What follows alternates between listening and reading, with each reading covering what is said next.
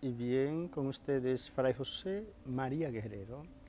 En este subprograma, La Biblia Ilumina tu Vida, su canal Televida, el canal católico de la familia, su escuelita de espiritualidad, contenido en la filiación divina. Hoy jueves tenemos nuestra media hora santa, media hora de adoración, media hora con Jesús. A los pies de Jesús, como María Magdalena, para transformarnos en Él y con Él transformar la familia, con Él transformar la sociedad, con Él transformar la historia. A los pies de Jesús, como María Magdalena, esa discípula aventajada, para transformarnos en Él y actuar como Él actuó. Eso le decía a una joven que me la encontré llorando, hija mía, ¿por qué llora? Es que me han, me han maltratado, me han herido, me han ofendido, me han llamado la atención delante de la gente, no me gusta eso. Entonces le dije, a mía, nuestro divino Salvador fue injuriado, se le llamó la atención delante de la gente. Y no solamente eso, sino que fue golpeado delante de la gente. Y terminé con esta expresión que acabo de compartir con ustedes. Transfórmate en Él, hija mía, para que puedas actuar como Él. Hermanos, hermanas, que esta frase eh, nos sirva, a mí el primero, por supuesto, el primero, Fray José, transfórmate en Cristo. Fray José, transfórmate en aquel que tú predicas, el verbo de Dios para que actúe como Él. Bien, hermanos, hermanas, démonos prisa, aceleremos la historia, podemos quedarnos con esta frase del día, la frase del día Transformémonos en Jesús para que actuemos como Él actuó. Frase del día, hoy jueves, transformémonos en Jesús para que actuemos como Él actuó. Frase del día, hoy jueves, transformémonos en Jesús para que actuemos como Él actuó. La Biblia ilumina tu vida, Salmo 53, verso, verso 7, el último versículo de este salmo, que la Biblia de Jerusalén intitula El hombre sin Dios. El hombre sin Dios, sin horizonte trascendente,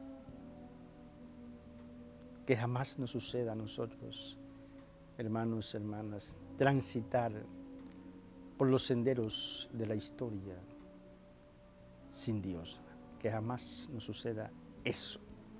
Transitemos siempre con Dios.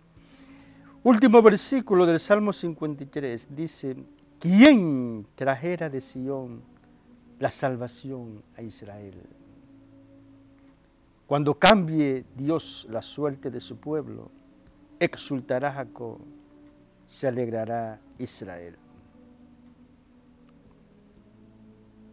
En el acto nos trasladamos al exilio, fuera de Israel, del pueblo de Dios, exiliado, maltratado, vilipendiado. ¿Quién trajera de Sion la salvación a Israel?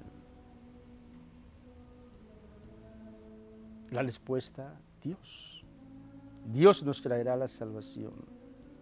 Y por eso dice el salmista, cuando cambie Dios la suerte de su pueblo, el pueblo está en una situación deprimente, el pueblo se encuentra en una situación de miseria, de calamidad histórica. El pueblo de Dios ha sido invadido, exiliado. Dios cambiará la suerte de Sión. Dios cambiará la suerte de su pueblo. En aquel día exultará Jacob, se alegrará Israel. Hermanos, hermanas, esta situación, esta calamidad histórica del pueblo de Dios se materializa en cada hombre, en cada mujer que no tiene a Dios, que no tiene a Dios, que vive en una situación de pecado, en una situación de culpabilidad, situación de miseria. Es decir, cuando Dios cambia la suerte de ese pobre hombre, de esa pobre mujer, ese hombre exultará de alegría, de gozo y de paz. Hermanos, hermanas, prediquemos la verdad de Jesús. Al principio hablábamos de una gran pecadora, María Magdalena, de la cual expulsó Jesús siete demonios. Jesús cambió la suerte de esta mujer. Cuando cambie Dios mi suerte, mi vida, mi existencia, exultaré de alegría, de gozo, de paz, de júbilo, de entusiasmo. Cambia, Dios mío, la suerte de tantos hombres y mujeres que se han apartado de tus senderos para servirle al diablo, al mundo y a la carne. Cámbianos, Señor, oriéntanos hacia ti, que eres la luz, eres la paz, eres el amor, eres la santidad, eres la humildad, eres la pureza, eres la quietud, eres la eternidad dichosa. Adoremos, hermanos, hermanas, al Hijo Eterno del Padre y hagámoslo en espíritu y en verdad. Señor mío y Dios mío, creo firmemente que estás presente en la hostia sagrada, en la plenitud de tu amor, en la plenitud de tu poder, en la plenitud de tu divinidad. Creo en ti y te adoro.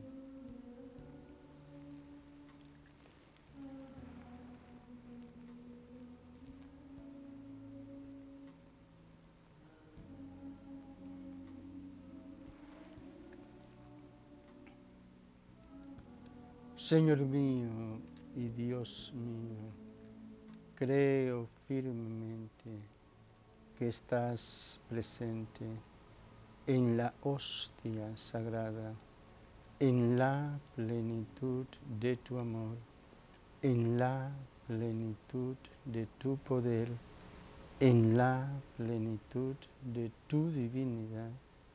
Creo en ti y te adoro.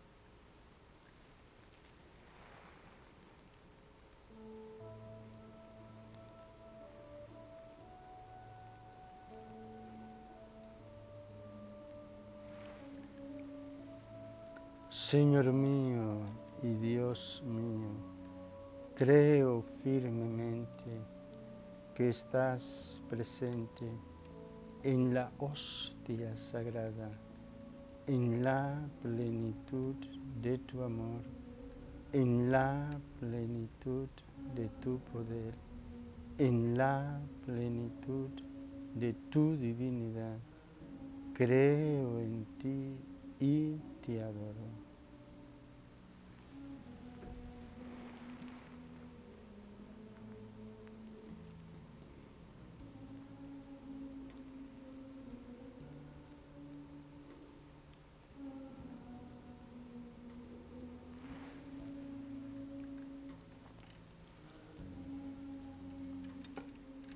Hermanos, hermanas, sumerjámonos en el silencio que adora y en el silencio que escucha.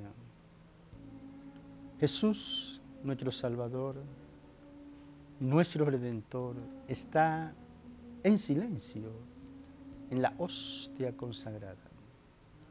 Conectémonos con el silencio de Jesús, presente, sustancialmente presente en la hostia consagrada, para que escuchemos su palabra.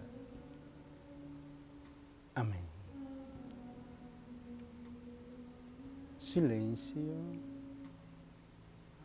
conexión, intimidad, presencia, adoración. Silencio, conexión, intimidad, presencia, adoración.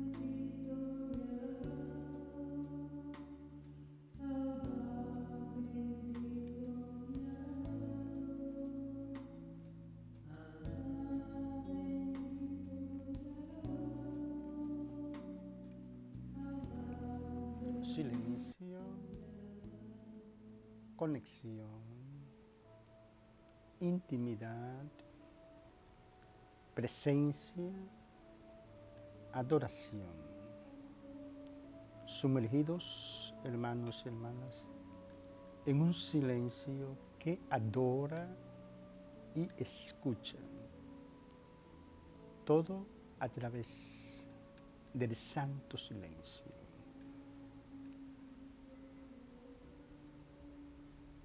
Dios te salve María, llena eres de gracia, el Señor es contigo. Bendita eres entre todas las mujeres y bendito es el fruto de tu vientre Jesús.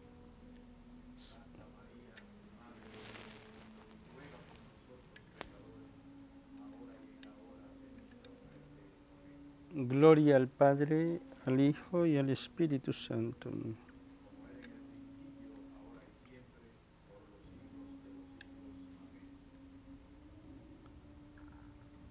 María Santísima, Virgen de la Alta Gracia, protectora del pueblo dominicano, ruega por nosotros. Amado, eterno y adorado Jesús, eres el Hijo del Dios vivo Eres el buen samaritano que nunca pasa de largo ante una necesidad humana. Te suplicamos por la intercesión de María Santísima de San José, que tú pongas en cada televidente, en cada miembro de su familia, que tú pongas en cada ser humano que habita este planeta Tierra el vino que tú sabes hace falta. Tú que vives y reinas por los siglos de los siglos. Amén. Jesús, en ti confío. Jesús, en ti confío. Jesús, en ti confío.